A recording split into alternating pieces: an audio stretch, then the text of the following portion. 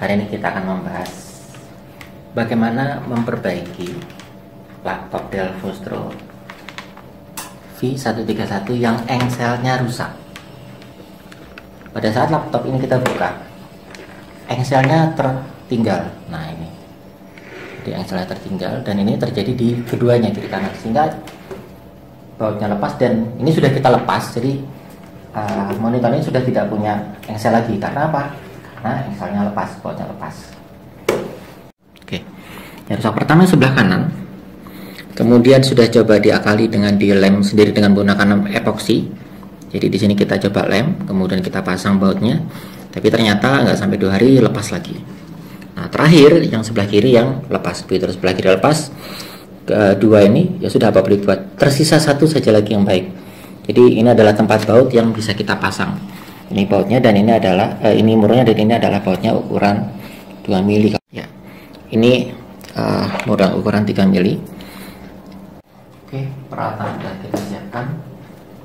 Pertama kita pasang barunya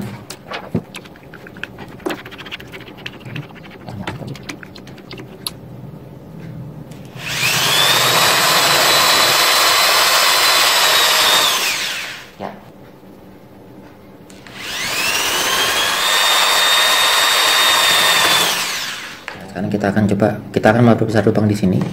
Karena uh, jelas tidak bisa dipakai kalau ukurannya cuma kecil. Sekarang kita lubangi di sini.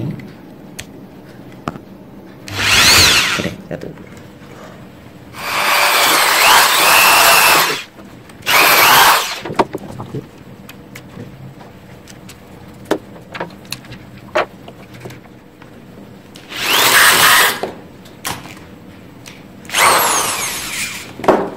hampir berhasil karena terkunci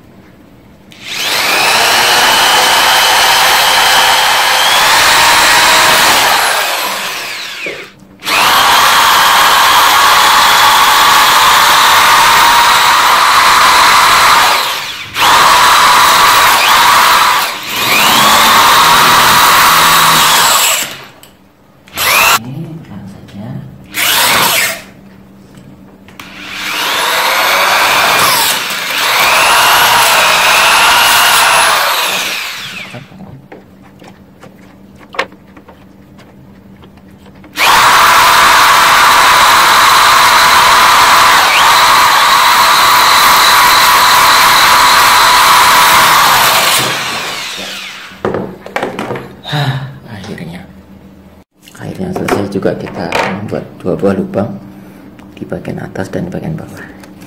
Sebenarnya ada tiga titik. Uh, satu dua dan tiga. Tapi kita pakai dua saja. Tujuannya agar eh, bagian-bagian uh, ini menjadi tidak tajam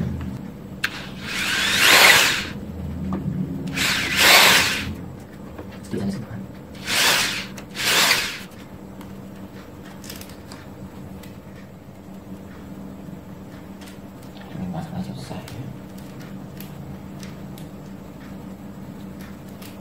ini sudah ada tanda-tanda kehidupan sudah mulai bertahan dan tidak tinggal mengencangkannya dengan obeng. Ya akhirnya laptop. Apa ya? Laptop. Kerusuhan selesai yaitu laptop dengan engsel baut di luar ya ini lebih baik daripada kita harus mengganjalnya. Dan sekarang kalau kita buka wow is perfect. Dan kita nanti bisa pasang kembali listnya agar menjadi lebih sempurna